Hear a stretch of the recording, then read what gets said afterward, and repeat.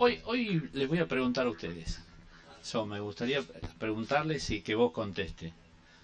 Eh, ¿Forsyth? ¿Sí? ¿El lineman estaba muy lejos de la jugada? ¿Eh? No, no estaba en su lugar. ¿Y por qué no la cobró? Supongo que no la habrá visto. Quiero creer que no, no la veo. ¿Estás seguro? Esa si esa respuesta, pensando- esa estaríamos respuesta pensando de mal, parte del periodismo no me gustan. No me gusta, tiene que ser un poquito más picante, Eh. ¿viste? Cuando del otro lado usted exigen de este lado que sean picantes. Es que estaríamos Eh, pensando mal, estaríamos ya dudando de la honorabilidad. ¿Cómo? Estaríamos dudando de su, de su honor, de su. ¿Quién de su fue el Lyman? No lo conozco, no sé quién fue. ¿Eh? ¿Francisco? Noguera. Está bien, lo vamos a citar. Está bien, yo quería que eso me eh, responda y, que aclare también que ellos, como nosotros nos equivocamos, ellos también. Así que ya está, se terminó, es un tema terminado. Esperemos que en la próxima eh, no haya tantas equivocaciones nada más. Listo, ya está, se terminó. Es bueno, ¿eh? es bueno que también de parte de ellos diga que se equivocaron. Como a nosotros nos exigen muchas veces de parte del periodismo, de la gente, que cuando nos equivocamos diga, no, vos te equivocaste, sí, nos equivocamos, listo, ya está, está bien, está bárbaro.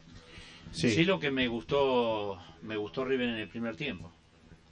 Eh, por ahí tuvimos un, un muy buen primer tiempo, tuvimos eh, tuvimos algunas chances muy claras, eh, que sí que lo podíamos lo, lo habíamos lo podíamos haber definido en el primer tiempo. En el segundo por ahí ya no me gustó, no me gustó cómo jugamos.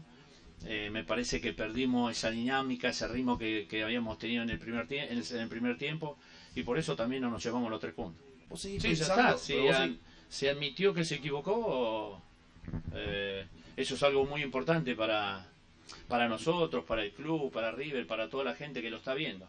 Eh, eso es importante, es importante. Así que eh, nos quedamos con eso y ojalá no, no vuelva a pasar porque hay, hay muchos equipos que han hecho unas inversiones muy grandes para traer algunos jugadores, jugadores de jerarquía, de calidad y, y, y por ahí que los resultados sean un poco condicionados por esta por estas cosas no no no, no nos gusta eh, no nos gusta reclamar nos gusta que nos ganen si nos tienen que ganar que nos ganen bien.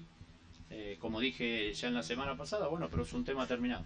En el, segundo tiempo eh, por ahí no no manejamos la pelota de mitad de cancha como lo habíamos hecho en el primer tiempo.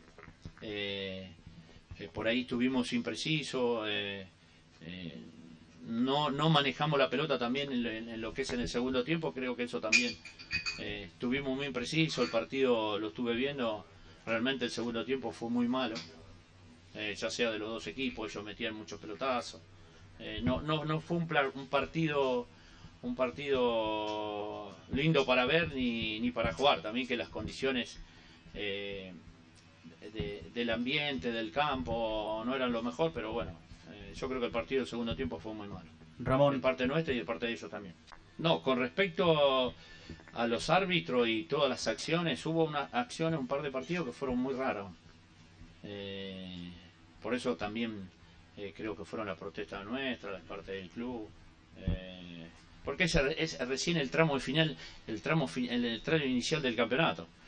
Recién empezaba y, y pero también a veces dan demostraciones que, el campeonato argentino es muy duro, muy difícil, eh, está complicado para todos. Eh, yo no me olvido también en un, en un, parte, un par de, partidos que eh, hay muchas dudas co- con, respecto a los árbitros. No solo en el partido nuestro, sino también en, anteriores. Entonces por eso pedimos de parte nuestra que siempre traten de equivocarse lo menos posible porque son están muy vistos hoy hoy eh, la tecnología eh, creo que cualquier cosa que, que pasa dentro del campo de juego es muy visto, es muy visto de parte de todos, de parte nuestra, de parte de, la gente, es muy evidente todo lo que pasa.